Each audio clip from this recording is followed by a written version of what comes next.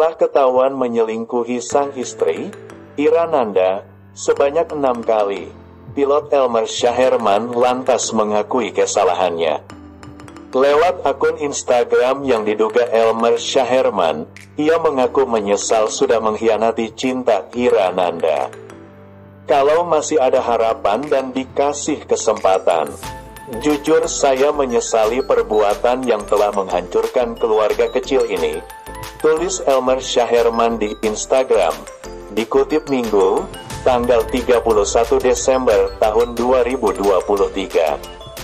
Kemudian Elmer Syaherman memohon kepada Allah.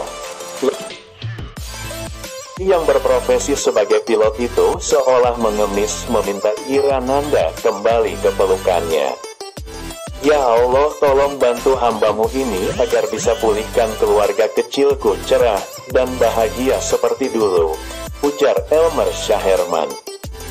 Mengakhiri tulisannya, Elmer mengaku sangat menyayangi istri dan anaknya. Ibu dan abang Kavi, Bapak sayang banget sama kalian, kata Elmer Syaherman. Permintaan maaf Elmer Syaherman ini terdengar sangat ironis. Sebab Elmer diketahui sudah enam kali berselingkuh.